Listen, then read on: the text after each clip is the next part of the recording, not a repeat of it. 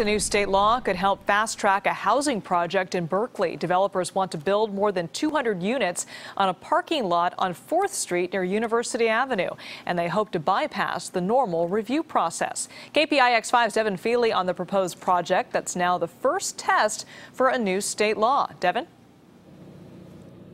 Yeah, the city of Berkeley, like the entire Bay Area, is in desperate need of affordable housing. And a developer has wanted to turn this parking lot into affordable housing for half a decade, but just couldn't get the okay to build. And now says he has fresh hope. It's been a very frustrating five years of time and millions of dollars of expense that we've spent trying to bring affordable housing to this parking lot. Lauren Seaver is hopeful a new state law will help her company cut through years of red tape and force the Berkeley City Council to finally greenlight a project that would build much needed affordable housing. The new legislation allows us to move forward based on facts. It has very straightforward criteria that says if the project meets the zoning for the location, then the city is required to approve it.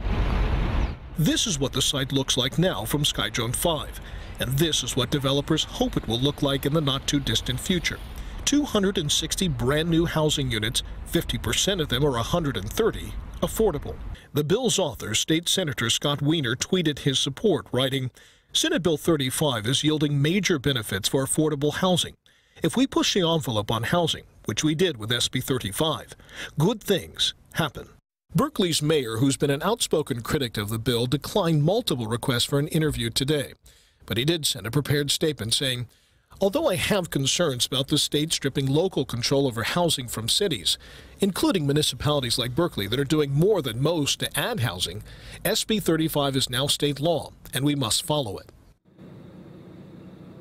Members of the Native American Ohlone tribe have been critical of this project. They say that some of their sacred historic burial grounds are located nearby. However, the developer says that they did exhaustive uh, research on this area and have found no evidence of human remains. In Berkeley, Devin Fehely, KPIX 5.